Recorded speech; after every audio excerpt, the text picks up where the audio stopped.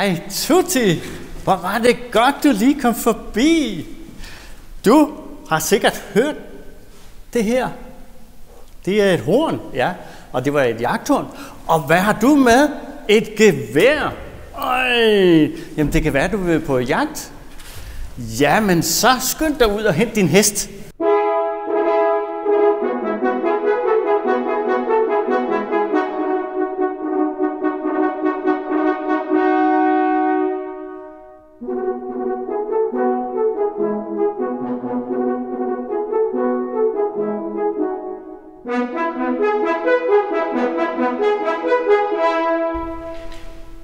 Hvad søren? Jeg synes, Tutti er ikke kommet tilbage endnu. Måske er han på jagt efter en krave. Hey, kender du den med kraven og jægeren?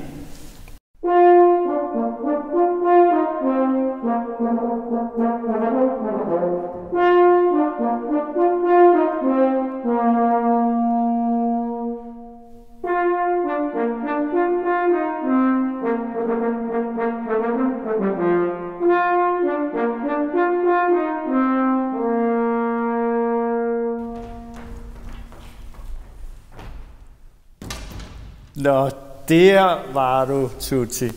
Hold da op. Sikke da en fin jagt, du har haft, var? Ja, det har du klaret alle sammen. Men nu tror jeg vist ikke, du skal skyde mere i dag. Skulle vi ikke lige tage og spille lidt smuk musik for dig?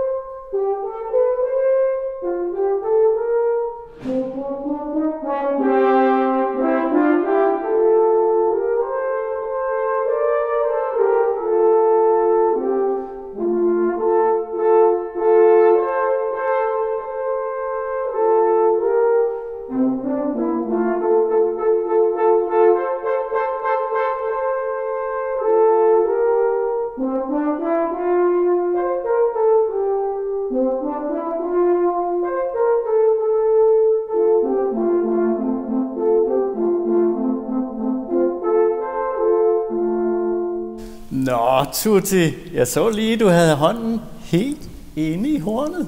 Ja, og det er fordi, måske du har lagt mærke til, at vi også gør det. Ja, og vi kan også, når vi lukker helt med hånden, så lukker helt til, så kan det lyde som en bus, der dytter. Hør lige, Jardi.